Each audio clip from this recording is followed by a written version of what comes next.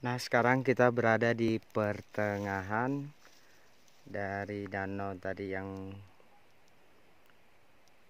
pertama kita lihat di sana ada dua danau.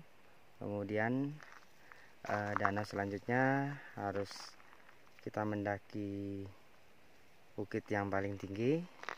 Sekarang kita sudah berada di pertengahan. Nah, bukit itu yang akan kita eh, naiki akan kita daki uh, lewat jalan setapak nanti nih.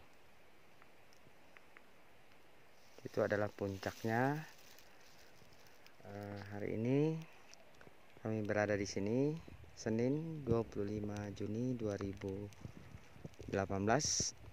sejarah uh, pertama datang di Indonesia bagian timur. I love Indonesia. Beautiful